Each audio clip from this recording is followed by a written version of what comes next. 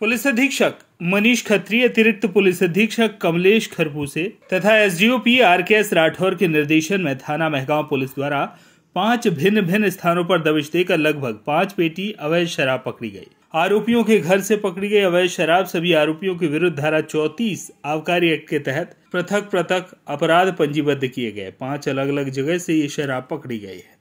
आज रात्रि में श्रीमान पुलिस अधीक्षक महोदय श्री मनीष खत्री जी, अतिरिक्त पुलिस अधीक्षक महोदय श्री कमलेश खरपूसे जी, तथा SDOP Mehgaon Shri R K S Rathore ji के निर्देशन में थाना महगांव से एक टीम बनाई। टीम बना के अवैध शराब के विरुद्ध हमने कार्रवाई की। इसमें भिन्न भिन्न स्थानों से पाँच अलग अलग लोगों को शराब बिक्री करते हुए, परवन करते हुए पकड़ा है, जिनके खिलाफ चौतीस आबकारी एक्ट के तहत वैधानिक कार्रवाई की गई है। से श्याम सुंदर उपाध्याय की रिपोर्ट।